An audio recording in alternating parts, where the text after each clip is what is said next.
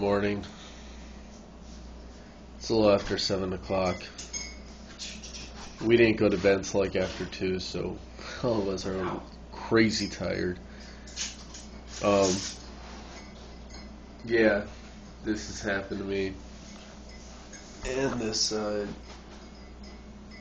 That's crazy. Mark, it's like a kid on Christmas. Like, like the urge just before everyone opens presents, he's just sitting there rocking back and forth, shaking because he's excited to see Stan Lee.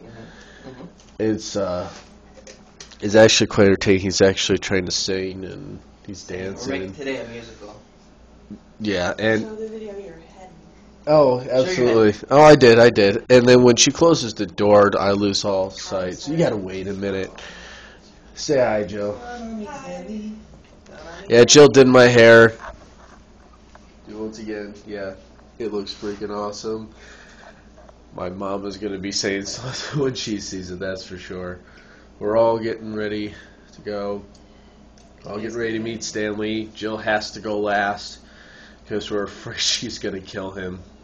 I'm not saying on purpose, it's just we just have this feeling we can't explain it. If you were here with us, you would understand why, but since you're not, I don't want to go into detail why.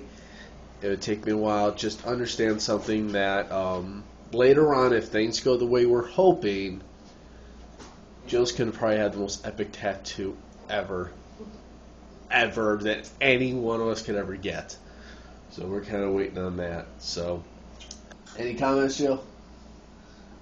No, just excited, just ready to rock and roll. All right. We're gonna meet Stan Lee. Yeah, Martin Mark's been saying that for the past like 20 minutes. Stan Lee. It's like Adam Lee. Oh gosh. Yeah, so here we go. Saturday, Stan Lee. Hell yes.